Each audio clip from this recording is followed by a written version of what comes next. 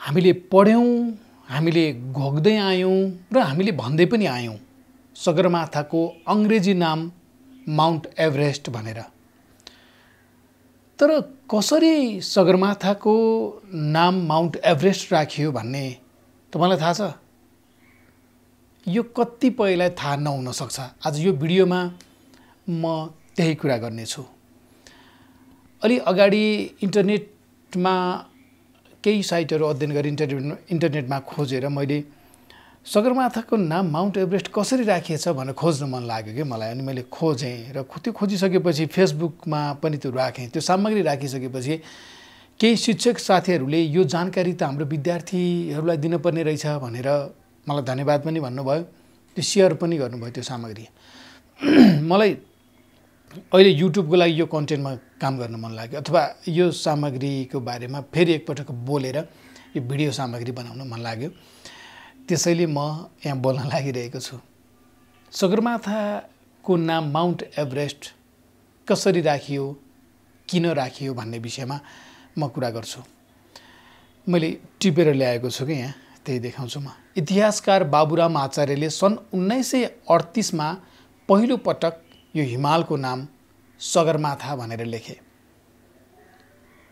बाबुराम आचार्यले इतिहासकार बाबुराम आचार्यले सन् उन्नाइस सय अडतिसमा त्यो हिमालको नाम सगरमाथा भनेर लेखे। पछि सन् उन्नाइस सय साठीको सुरुवाततिर यहाँको सरकारले नेपालको सरकारले पनि सोही नामलाई मान्यता दियो त्यसपछि सगरमाथा भनिन थालियो।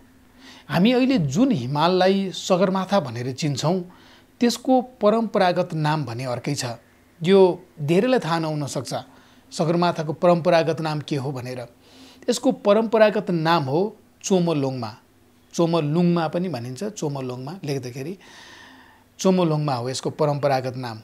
नेपालका शेर्पा आदि भाषासँगै तिब्बती भाषामा पनि चोमोलोङमा नै भनिन्छ। त्यसैले नेपाल र तिब्बतका रैथाने भाषामा चोमोलोङमा यसको नाम हो।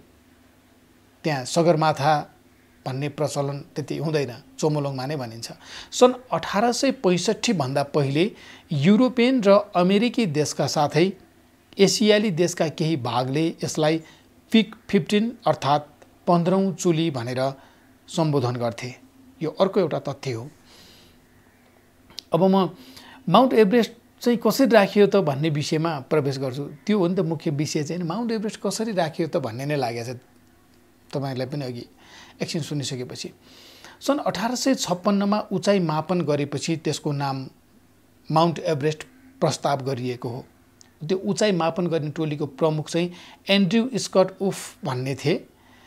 यो नाम राख्न उनले प्रस्ताव गरेका हुन् र उनी को थिए भन्दा त्यति बेला चाहिँ भारत ब्रिटिसबाट शासित थियो।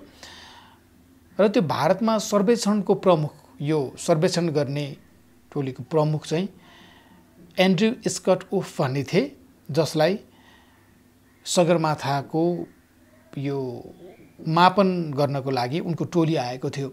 उनले अब यो नाम किन प्रस्ताव गरे भन्नेमा पनि एउटा रोचक प्रसङ्ग छ कि। किन माउन्ट एभरेस्ट नै राखे त भन्नेमा पनि। त्यो किनभने ब्रिटिस शासित भारतको पहिलो सर्वेक्षण प्रमुख चाहिँ उनी जति बेला सर्वेक्षण प्रमुख थिए पहिले ब्रिटिसले भारतमा शासन गरेर त्यो ब्रिटिस शासित भारत हुँदा त्यहाँको सर्वेक्षण प्रमुख जो थिए उनको नाम थियो sir George Everest. Sir George Everest उनको नाम थियो र उनकै सम् त्यो एभरेस्टकै सम्मान स्वरूप एन्ड्रयू स्कट ओफले जब सगरमाथाको मापन गरे त्यसपछि यो हिमालको नाम के राख्ने भन्ने उनलाई लाग्यो? नजिकै बस्तीहरू पनि नभएको भन्ने कुरा छ। स्थानीयलाई सोधौँ भन्ने पनि नजिकै कुनै बस्तीहरू नभेटेपछि के राख्ने थियो हिमालको नाम मापन त गरियो भनेर उनले चाहिँ ती सर जर्ज एभरेस्टको सम्मान स्वरूप एन्ड्रयू स्करोफले चाहिँ त्यो हिमालको नाम माउन्ट एभरेस्ट राख्न प्रस्ताव गरेका हुन्। तर एभरेस्ट आफै भने एभरेस्ट भनेको सर जर्ज एभरेस्ट उनी आफै भने आफ्नो नाम राख्न सहमत थिएनन् भन्ने पढ्न पाइन्छ। उनी स्थानीयताबाट नाम राखिनुपर्छ भन्ने कुराको पक्षधर थिए। त्यहीँको स्थानीयताकै आधारमा नाम राखिनुपर्छ भनेर र उनी आफ्नो नाम बाट राखिएकोमा पनि उनी चाहिँ त्यसको लागि सहमत थिएनन् भन्ने कुरा छ। लामो छलफलपछि त्यो त प्रस्ताव गर्ने कुरा भयो। यहाँ त एन्ड्रु स्कट उफले त त्यो प्रस्ताव गरे। तर त्यो प्रस्ताव गरिसकेपछि लामो समय त छलफल हुने भयो। र त्यो छलफलपछि अन्तत सन् अठार सय पैँसठीमा त्यो नामले आधिकारिकता पायो। सगरमाथाको नाम माउन्ट एभरेस्ट भनेर जुन अन्तर्राष्ट्रिय रूपमा चाहिँ यसरी त्यसले मान्यता पायो।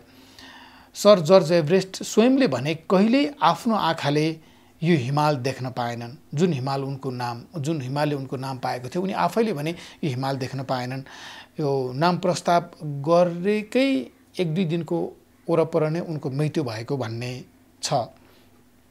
अब यहाँ अर्को एउटा अर्को एउटा तथ्य पनि छ त्यो पनि हामीले भुल्नु हुँदैन। त्यो चाहिँ के भने सन् दुई हजार दुईमा चाइनिज पिपुल्स डेली भन्ने पत्रिकाले सो हिमालको नाम अङ्ग्रेजीमा माउन्ट एभरेस्ट प्रयोग गरिएको विरुद्ध एउटा लेख नै प्रकाशित गरेर तिब्बती नामको आधिकारिक रूपको आधारमा कोमोलोङमा भनेर चिनाउनु पर्नेमा जोड दिएको थियो। माउन्ट एभरेस्ट नाम राखिएको प्रति चाहिँ विरोध नै गरेर चाइनिज पिपुल्स डेली भन्ने पत्रिकाले एउटा लेख नै प्रकाशित गरेको थियो र त्यहाँ कोमोलोङमा भनेर चिनाउनुपर्छ। यो हिमालको नाम भनेको थियो। उक्त लेखले तर्क गर्यो कि बेलायती उपनिवेशवादीहरू विश्वको सबैभन्दा अग्लो हिमालको पहिलो अन्वेषक थिएनन्। सगरमाथाको पहिलो अन्वेषक उनीहरू थिएनन् किनकि यो हिमालबारे तिब्बतीहरूलाई पहिले नै थाहा थियो र सन् सत्र सय उन्नाइसभन्दा अघिदेखि नै चिनियाहरूले कोमोलोङमा भन्दै आएका थिए भन्ने तर्क उनीहरूले चाइनिज पिपुल्स डेलीले अघि सारेको थियो र माउन्ट एभरेस्ट होइन कोमोलोङमा भनिनु पर्दछ यो हिमालको नाम भनेर उनीहरूले त्यो दाबी गरेका थिए। यो भिडियोमा मैले यति नै हो जानकारी कि हामीले सगरमाथा भनिरहेको हिमालको नाम माउन्ट एभरेस्ट कसरी रहेको थियो भन्ने बारेमा तपाईँले धेर थोर जानकारी पाउनुभयो होला।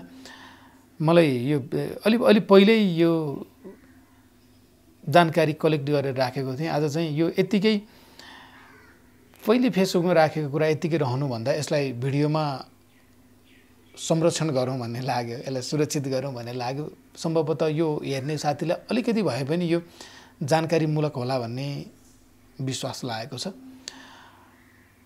यो भिडियोबाट चाहिँ म बिदा हुन्छु। नमस्ते।